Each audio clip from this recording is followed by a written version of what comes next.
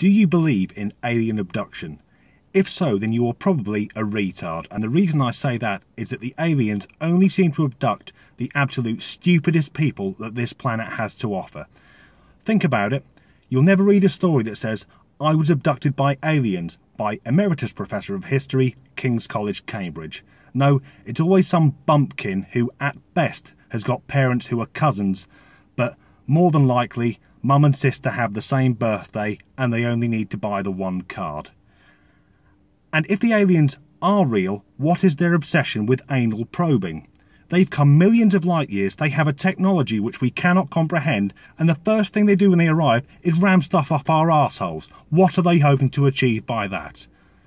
Now, there are conspiracy theorists, or twats, to give them their official title, who go on about Roswell and government cover ups and Area 51.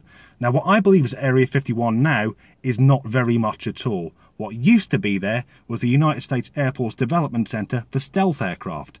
And there's no better way to distract people from the strange lights in the sky than hordes of lunatics worried that little green men are going to shove things up their jacksies. In the words of Terry Pratchett, the truth might be out there, but the lies are in your head.